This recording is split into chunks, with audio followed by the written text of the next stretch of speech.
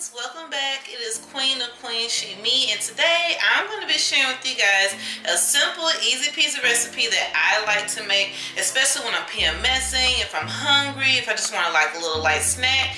And plus two since we're in the summer months it's just perfect to also partake in ice cream and also in a healthy way as well. So if you're interested to see how i make my own simple three ingredient pretty much vegan ice cream then continue watching. These are just additional items that I actually just place inside for just like natural sweeteners and for flavoring as well. I like to use cinnamon because it's good for inflammation as well so it's good for you know your blood flow throughout your whole system. So I like to use cinnamon and plus two just gives it like a little flavor like a little spice to it. And then I like to use honey as a natural sweetener. This is the Benares um, honey. I've been using this one for like over a year now and has a pleasant taste as well I like to use the Maranatha almond butter and I've actually been using almond butter now for two years the greatest switchover in the decision I've made thus far while actually trying to become healthier myself in my own journey. And what I like about almond butter is that it's light, it's creamy, and they also have this one in the crunchy flavor as well, which I do like as well so good has the actual you know ground pieces of almond in it and i love that it's actually just like a low um sweetener as well. It's not as sweet as peanut butter, believe me. Start eating this for a while and then switch over to peanut butter and you will definitely tell the difference between the two. Peanut butter is a lot heavier and it has a lot more oils in it versus the actual almond butter. And I love cacao powder. You guys know I've been rocking with cacao powder now for about the same, about two years. I love to use these in my cacao smoothie or if I'm like having, you know, some cramps during my menstrual cycle, I'll actually just come into the kitchen and just put some on a spoon and just eat it that way or put some on a spoon with some of the actual almond butter for like a little snack, a little treat. Or like you guys are gonna see me do here today for the actual vegan ice cream that I make here in the house. Um, the first time I made it in the house, it was a hit. Babe really, really didn't enjoy it as I did as well. And also too real quick with cacao powder, it's a difference between cocoa powder and cacao powder. And cacao powder is the actual better version that you should be intaking and not cocoa powder. Um, because cacao powder is very natural, it's high in antioxidants as well. And it really is good for um, ensuring that you get all those nutrients that you need. And it really does help with your menstrual. This is one of the items recommended that I find a lot on Pinterest for menstrual cycles. If you're having like, uh, you know, like cramps and everything like that. Or this is really good as well to take care of that. So enough rambling guys, I'm gonna get right into making this actual vegan ice cream. I just wanted to go over the items. You will also need as well some frozen bananas as well as you guys can see here. I have quite a few of them in here just, you know, split in half. And I'm gonna use pretty much four halves, which is two bananas. And you want to make sure that they're actually over ripened so we can get that natural sweetness as well. And then for the cream part for the vegan ice cream, I'm going to be using, of course, my Silk almond milk. This is what I've been using and loving for a good minute. And I just love it, you guys. So again, everything I've shared here with you guys will be listed down below in the description box for you guys to check out. And let's get right into making our vegan ice cream, queen. So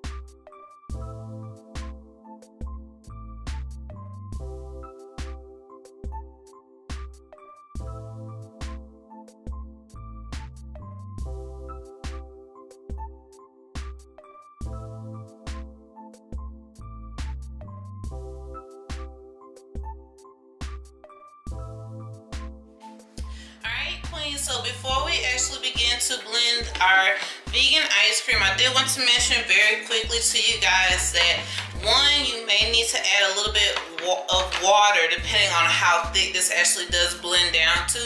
Again, depending on how cold your actual bananas are, how thick they are, and as well, again, how thick you want your actual ice cream to be. If you want a little bit more thicker consistency, you can simply just add in another banana if it's not sweet enough, but if it is sweet enough, simply add in ice cubes. Don't add anything else to make it overly sweet. That's not the point here. We want something healthy, yeah, yummy in our tummies for the summer days, okay? So I'm fixing to actually blend this. This is my Ninja. It came in a three-piece set and it's two other sizes.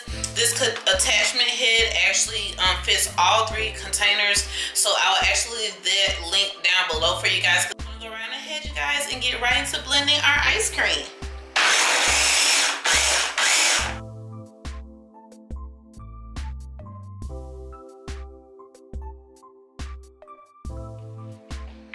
So what we're gonna do right now, we're gonna actually just check the consistency of it and ooh, okay, so we do actually have a banana actually still stuck in here. So what I'm going to do, since I do have a little bit of my almond milk left, I'm going to just put a little bit in here just to help with the blending. There we go. Now we're gonna continue blending. All right, queen, so once your ice cream is fully blended, this is actually how it should look. Delicious, y'all? And we made this at home with no like extra additives and all that other kind of crazy crap. Just bananas, pretty much almond milk, and peanut butter. That's really your three basic ingredients for this three ingredient vegan ice cream, you guys. Everything else, again, I added in because that's what I wanted to do. I wanted more flavoring, but really and truly, this could have just been a regular old banana ice cream and y'all look at the consistency of this like it is thick and this is pretty much like a soft serve this is pretty much a soft serve so what you'll want to do now if you're wanting to go ahead and eat it immediately I will go ahead and do that if it's at this consistency. If you want it like a little bit colder or a little bit thicker then the only thing I recommend is that you just put this inside of an actual plastic container these containers I love. They're stackable, y'all. These are from Rubbermaid, and I got these during a Black Friday sale. Yeah, this is the only thing I literally purchased during Black Friday sales. So what I'm going to do is I'm actually just going to store these in some of the smaller containers here. So that way later on, me and Babe, we can actually, you know, enjoy the ice cream. And so she can too, because she's at work right now. So I'm just simply going to put this in here.